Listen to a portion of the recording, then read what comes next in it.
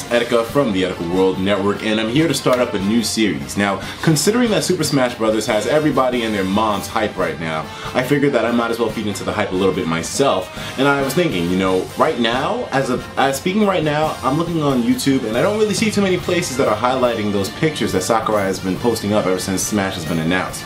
If you don't know what I'm talking about, Masahiro Sakurai, the director of Smash Bros., proposed that he would be posting a single screenshot every single day depicting something new within Super Smash Bros., 3DS, and Wii U.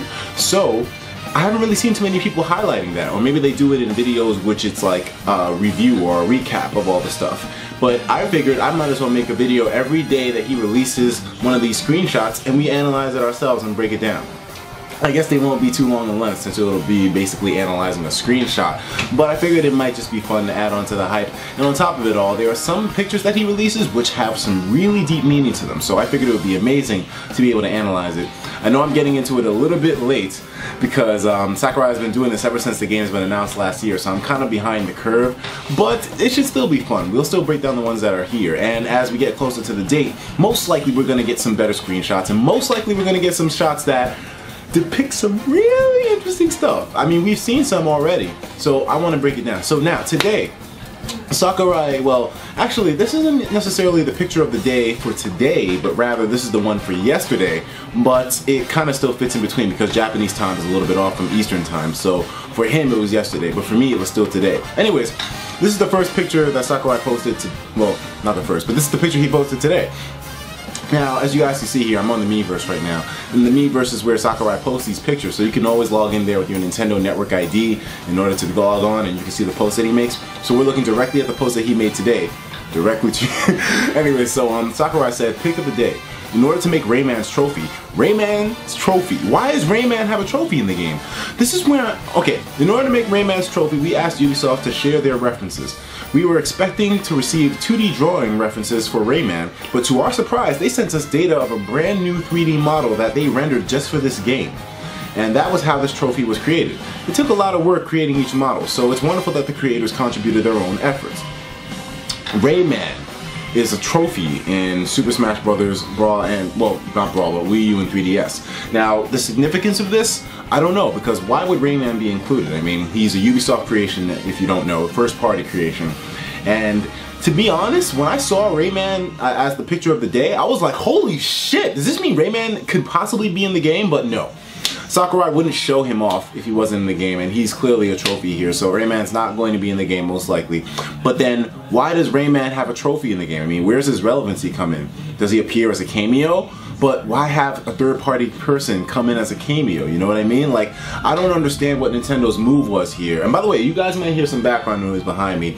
It's just the, the other people that live here. You know, try to deal. But anyways, this is really interesting because they well Ubisoft as we know they always take a lot of pride with their work so it's pretty cool that they sent Sakurai a 3D model but what I'm curious about is why send Sakurai a model of Rayman in the first place is there going to be some incorporation here? I, I, I, think Rayman would be an amazing addition to the Smash Brothers roster. He fits in so perfectly. I mean, my first Rayman game was Rayman 2, so, you know, I kind of have a little bit of a, a heart throb for the series, but it would be such an amazing addition. I think this is where Sakurai probably failed. He should have had Rayman included as a playable character in the roster.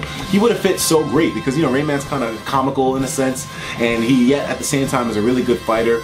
He has a lot of moves in his arsenal, and um, a unique fighting style as that. Since he doesn't have arms, he could use a lot of moves where he throws his fist. But they could even take it back to Rayman 2, where he has the energy orbs and he tosses those.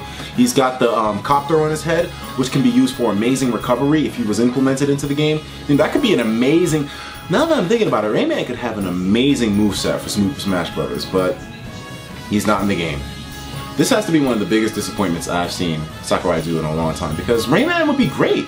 Like you guys gotta let me know. Do you think Rayman would be a great addition to this game? I think he would be. I I think he'd be better than Pac-Man to be honest because Rayman he's actually comical. Well, Pac-Man's comical too, but Rayman, he's like, he's a comical fighter. That's what he's built upon. Rayman is a comical fighter. This guy has so many moves. Like, thinking about the helicopter with the hair, because you know, he has like this helicopter thing you can do with his hair. That would be amazing. It would be such a great recovery move. And he could use the orbs it's like his neutral B. Anyways, why the hell do you think Sakurai had Rayman as a trophy in this game? What does this mean for Super Smash Bros.? Will there be other third-party characters included as trophies in the game? But Ubisoft, on top of everything else, why send them a trophy? Why is Sakurai putting it in there? Is there going to be more Rayman characters like Globox or the Teensies? I don't know. I don't know. I'm jumping ahead of the gun, but it's very strange that Sakurai put Rayman as a trophy in the game. The chance of him being a playable character, I would honestly say, is like 99 point, well, no, no, excuse me, 0.0001%. But I guess it's still a chance in the end of the day. I hope it works out, man. I hope he's a playable character, but he's probably not going to be. Don't get hyped. Do not get hyped. I'm not going to let myself get hyped over this, but it's still very, very, very interesting. Why? Why? Anyways, I'll talk to you guys in the next video. Take care of yourselves, and of course, as usual, please have yourself a damn good one.